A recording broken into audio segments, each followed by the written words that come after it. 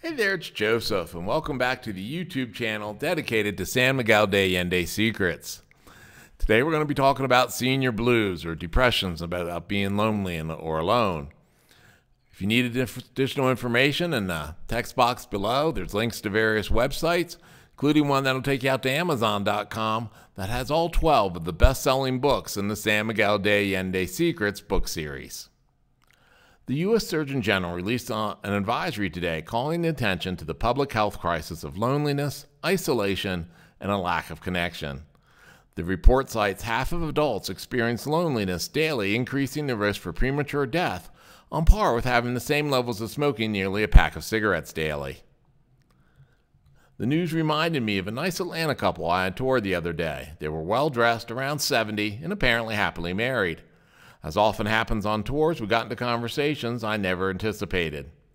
They had been in Atlanta for over a quarter century working and raising their family. Today, the kids are grown in far flung places, and they find themselves without a support network. I mentioned it is hard when working and raising kids to meet others unless you are active in a church, and they weren't. So they have no ties to keeping them in Atlanta. They considered returning to their hometowns, but have long been gone so long now they don't know folks there anymore either. It reminded me of my sister in law that retired for a week. That was all it took for her to realize she had no interest outside her children, so had no friends despite a lifetime in the same town. A week later, she was back to her old job. Or, like my sister, Kitty, now finds themselves in an old folks' home, which is never a joy. Sure, it's nice to no longer cook and clean, but spending every meal with folks that don't know where or who they are, it's wearing. It is different for Mexicans as they tend to live with their family forever. If not, there is always church groups, as being Catholic here is a lifestyle, not simply a religion. Consequently, it's common to know folks of various ages your entire life just from participating in processions and religious events.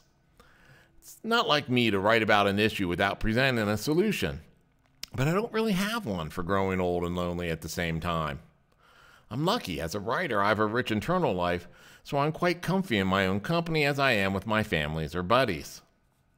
Perhaps life in a 55 plus town is a good solution to the senior blues, but for me, I need folks of all ages around me and would wilt if only interacting with others of my age and interests all the time.